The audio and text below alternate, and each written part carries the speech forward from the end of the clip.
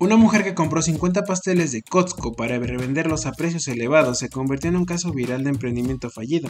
Intentó vender cada pastel a un costo mucho mayor que el original, provocando una ola de críticas en redes sociales donde fue tachada de ambiciosa. Hasta ahora solo ha vendido un pastel y enfrenta un dilema para deshacerse del resto.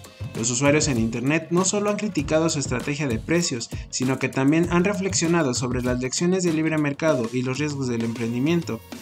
La historia se ha esparcido como un ejemplo de cómo la ambición desmedida y la falta de estrategia puede conducir al fracaso en negocios, especialmente cuando se trata de productos con alta demanda, pero fácilmente accesibles como los pasteles de Costco. La mujer que aún no ha sido identificada ahora busca ayuda para vender sus productos antes de que caduquen, mientras la comunidad en línea continúa debatiendo sobre la ética y las implicaciones de sus acciones.